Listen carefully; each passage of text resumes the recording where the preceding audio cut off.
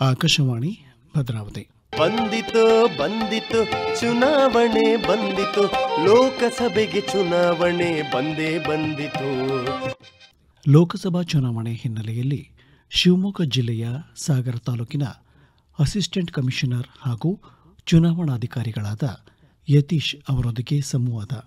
ಈ ಸಂವಾದದಲ್ಲಿ ಭಾಗವಹಿಸುತ್ತಾರೆ ಭದ್ರಾವತಿ ಆಕಾಶವಾಣಿ ಕೇಂದ್ರದ ಕಾರ್ಯಕ್ರಮ ಮುಖ್ಯಸ್ಥರಾದ ಎಸ್ಆರ್ ಭಟ್. ಹೌದು, ಲೋಕಸಭೆಗೆ ಚುನಾವಣೆ ಬಂದೇ ಬಂತು. ಶಿವಮೊಗ್ಗ ಲೋಕಸಭಾ ಕ್ಷೇತ್ರದ ಚುನಾವಣೆ ಮೇ ತಿಂಗಳ ಏಳರಂದು ನಡೀತಾ ಇದೆ. ಈ ಹಿನ್ನೆಲೆಯಲ್ಲಿ ನಾವು ದೂರವಾಣಿಯ ಮುಖಾಂತರ ಮಾತನಾಡಿಸ್ತಾ ಇದ್ದೀವಿ.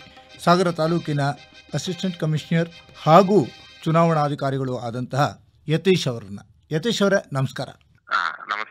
ತಾವು ಸಾಗರದ ಅಸಿಸ್ಟೆಂಟ್ ಕಮಿಷನರ್ ಹೌದು ಹಾಗೂ ಸಾಗರ ತಾಲೂಕಿನ ಚುನಾವಣಾಧಿಕಾರಿಗಳು ಹೌದು. ಹೌದು. ಈಗ ಶಿವಮೊಗ್ಗ ಲೋಕಸಭೆಗೆ ಮೇ ಏಳರಂದು ಚುನಾವಣೆ ನಡೀತಾ ಇದೆ.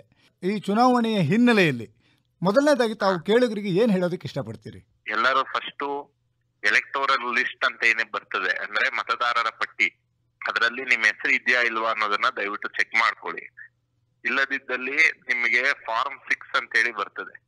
ಅಂದ್ರೆ ಹೊಸದಾಗಿ ಯಾರಾದ್ರೂ ಅಡಿಷನ್ ಮಾಡ್ಕೊಳ್ಳಿಕ್ಕೆ ಅದನ್ನ ನಾವು ಏಪ್ರಿಲ್ ಒಂಬತ್ತನೇ ತಾರೀಕು ಆ ಫಾರ್ಮ್ ಅನ್ನ ಸ್ವೀಕರಿಸ್ತಾ ಇದ್ದೆ ಸೊ ದಯವಿಟ್ಟು ಮೊದಲನೇದಾಗಿ ನಾನು ಹೇಳೋದೇನಂದ್ರೆ ಎಲೆಕ್ಟೋರಲ್ ಲಿಸ್ಟ್ ಅಲ್ಲಿ ನಿಮ್ಮ ಹೆಸರು ಇದೆಯಾ ಇಲ್ವಾ?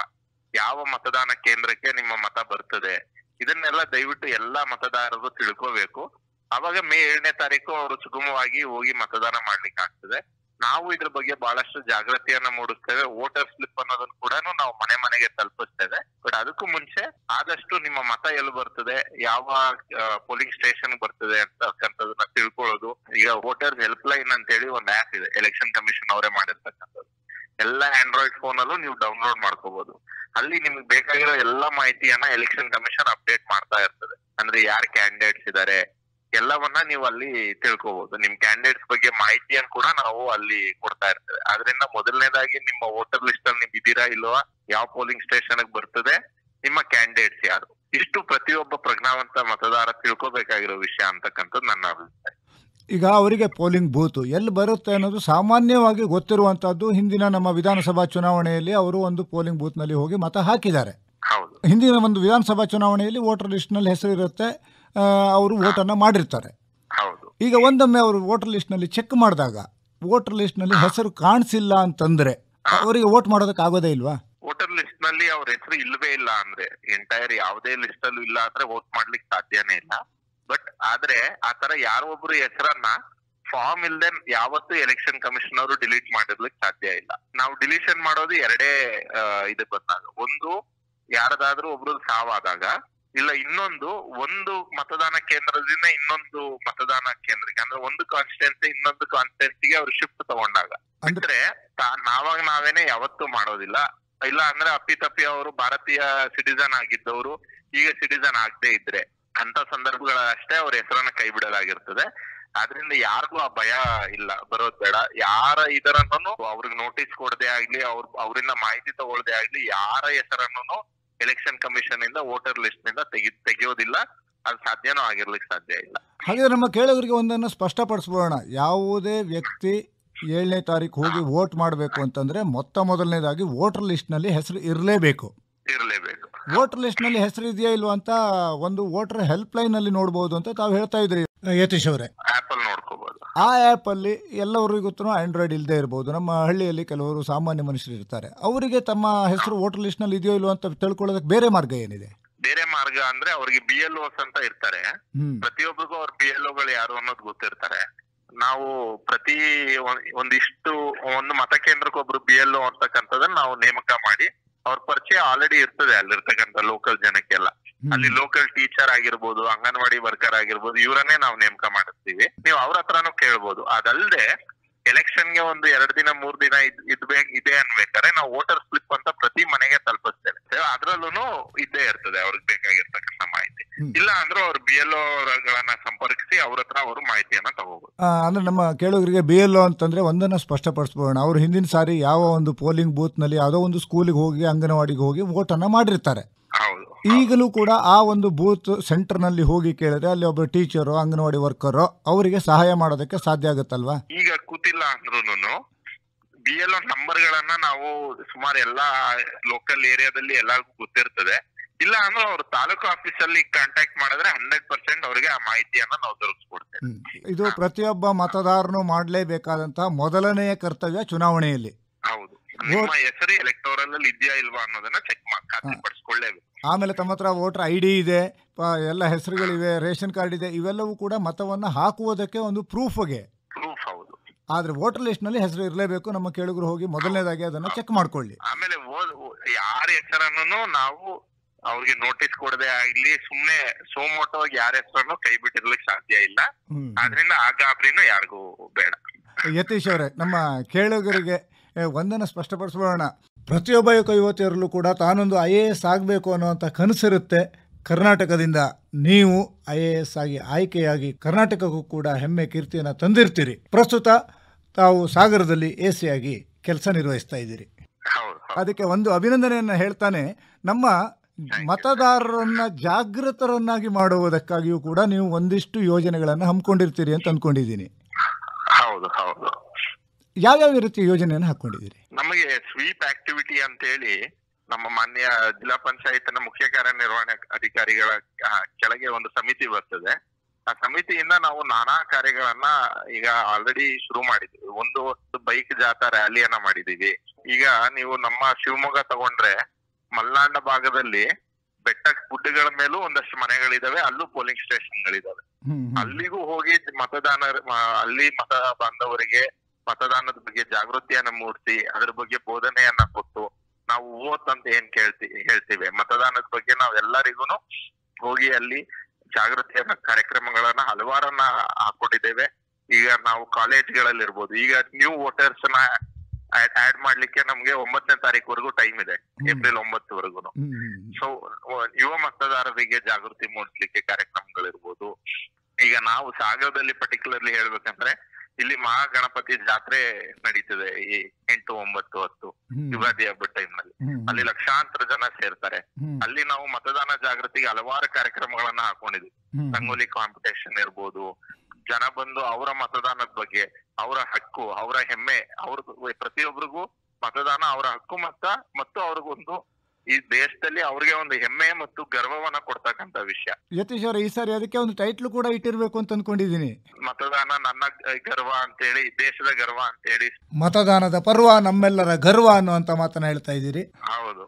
ಎಲ್ಲಾ ಜಿಲ್ಲೆಗಳಲ್ಲೂ ಬೇರೆ ಬೇರೆ ಟೈಟಲ್ ಗಳನ್ನ ಕೊಟ್ಕೊಂಡಿದ್ದಾರೆ. ಸೊ ನಾವು ಇಲ್ಲಿ ಸಾಗರದಲ್ಲಿ ಈ ಜಾತ್ರೆ ಟೈಮ್ನಲ್ಲಿ ಸುಮಾರು ಒಂದ್ ಎರಡ್ ಮೂರ್ ಲಕ್ಷ ಜನ ಸೇರೋದ್ರಿಂದ ಅಲ್ಲಿ ನಾವು ನಾನಾ ಕಲಾ ತಂಡಗಳನ್ನ ಸೇರಿಸಿ ಬೀದಿ ನಾಟಕ ಮಾಡೋದಿರ್ಬೋದು. ಅದ್ರ ಬಗ್ಗೆ ಜಾಗೃತಿಯನ್ನ ಮೂಡಿಸತಕ್ಕಂತ ಇರ್ಬೋದು. ಇದನ್ನೆಲ್ಲ ಮಾಡ್ತಾ ಇದೆ ಈ ಸ್ವೀಪ್ ಆಕ್ಟಿವಿಟಿಯಲ್ಲಿ ಇದನ್ನೆಲ್ಲವನ್ನು ಮಾಡಿ ಮನೆ ಮನೆಗೆ ಪ್ರತಿಯೊಬ್ಬ ಮತದಾರರಿಗೂ ಕೂಡ ಮತದಾನದ ಮಹತ್ವವನ್ನು ಸಾರುವುದಕ್ಕೆ ಜಾಗೃತರನ್ನಾಗಿ ಮಾಡ್ತಾ ಇದ್ದೀರಿ. ಹೌದು ಹೌದು. ಮತದಾನ ಯಾಕೆ ಮಾಡಬೇಕು ಅಂತ ಹೇಳ್ತೀರಿ ತಮ್ಮ ಅಭಿಪ್ರಾಯದಲ್ಲಿ? ಯಾಕೆ ಅಂದ್ರೆ ಪ್ರತಿಯೊಬ್ಬರ ಆದ್ಯ ಕರ್ತವ್ಯ ಅದು. ಸಂವಿಧಾನದಲ್ಲಿ ನೀವು ನೋಡೋದಾದ್ರೆ ಸಂವಿಧಾನದ ಪೀಠಿಗೆ ಏನ್ ಹೇಳ್ತದೆ? ಪ್ರಿಯಾಂಬಲ್ ಅಂತ ನಾವ್ ಏನ್ ಕರಿ ಕರಿತೀವಿ? ಅದು ಶುರು ಆಗೋದೇ ನಾವು ಭಾರತೀಯರು ಅಂತ. ಅಂದ್ರೆ ನಾವು ಭಾರತೀಯರು ನಮಗ್ ಕೊಟ್ಕೊಂಡಾಗಿರ್ತಕ್ಕಂಥ ಸಂವಿಧಾನದಲ್ಲಿ ನಮಗ್ ಕೊಡ್ತಕ್ಕಂಥ ಅತಿ ದೊಡ್ಡ ಹಕ್ಕೇನೆ ಮತದಾನ.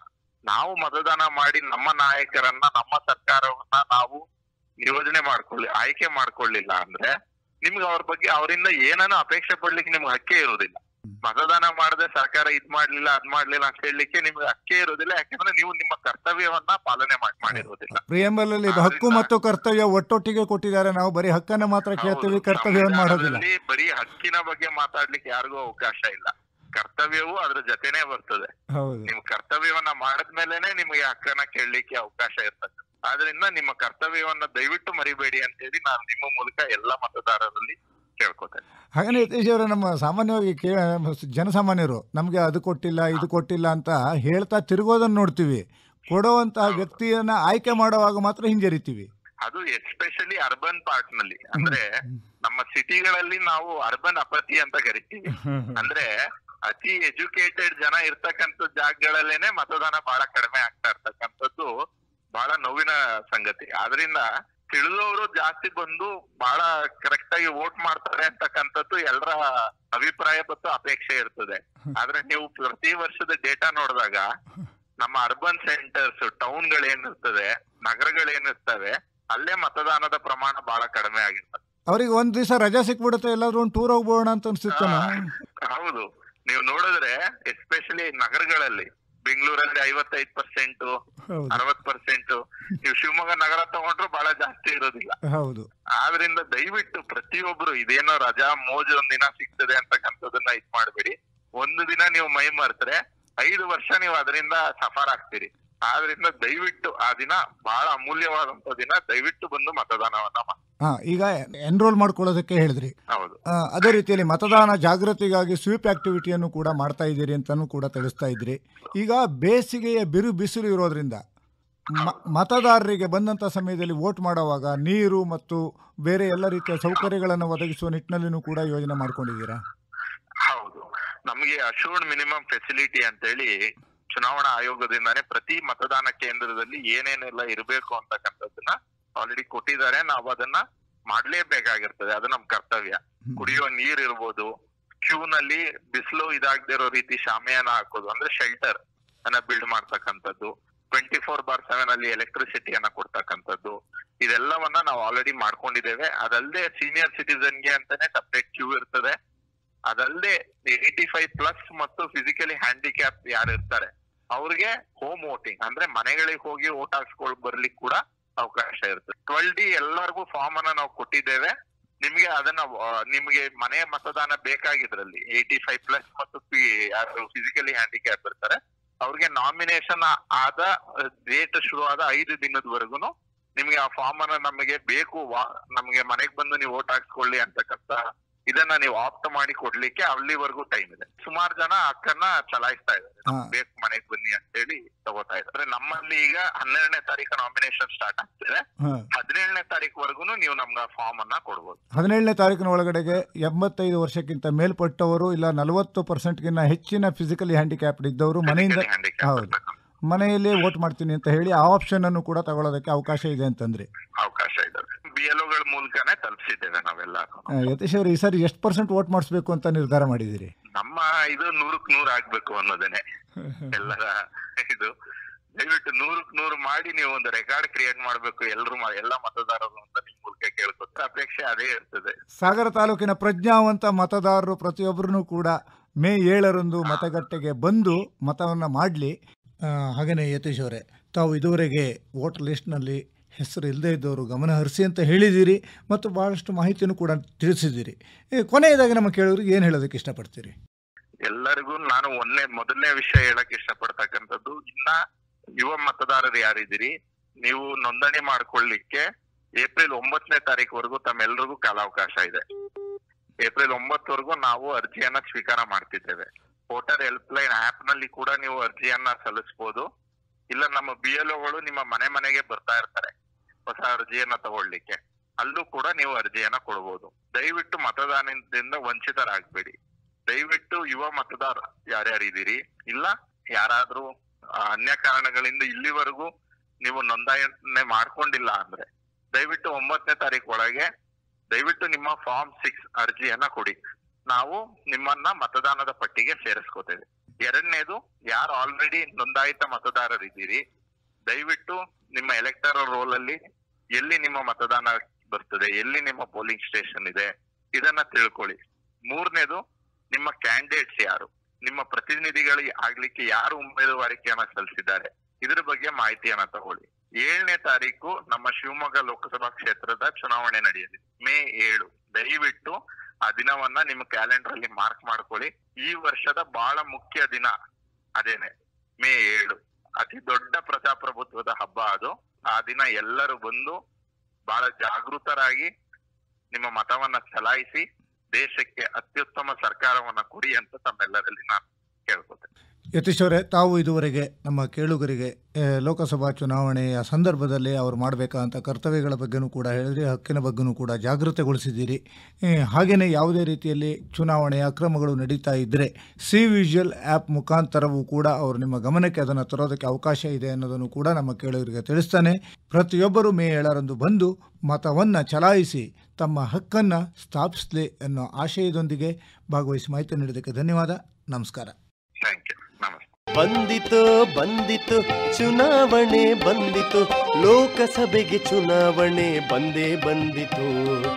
ಇದುವರೆಗೆ ಲೋಕಸಭಾ ಚುನಾವಣೆ ಹಿನ್ನೆಲೆಯಲ್ಲಿ ಶಿವಮೊಗ್ಗ ಜಿಲ್ಲೆಯ ಸಾಗರ ತಾಲೂಕಿನ ಅಸಿಸ್ಟೆಂಟ್ ಕಮಿಷನರ್ ಹಾಗೂ ಚುನಾವಣಾಧಿಕಾರಿಗಳಾದ ಯತೀಶ್ ಅವರೊಂದಿಗೆ ಸಂವಾದವನ್ನು ಕೇಳಿದರೆ.